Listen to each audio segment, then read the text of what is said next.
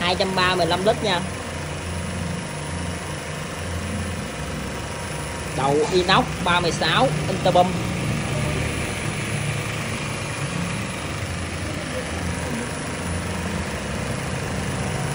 đang test với bếp một ly uh, ba nha anh em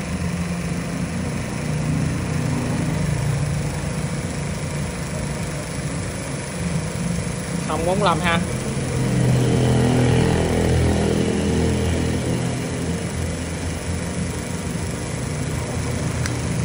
Ấp 200 siêu em.